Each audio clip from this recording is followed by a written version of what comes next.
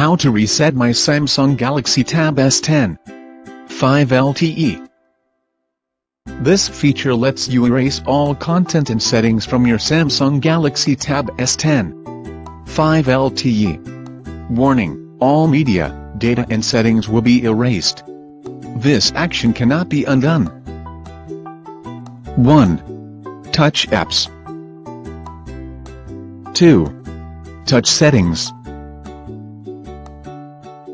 3. Touch General 4. Touch Backup and Reset 5. Touch Factory Data Reset 6. Read the warning and touch Reset Device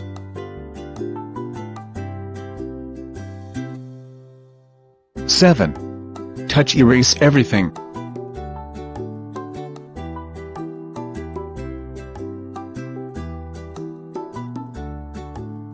8. The Samsung Galaxy Tab S10 5 LTE will reboot.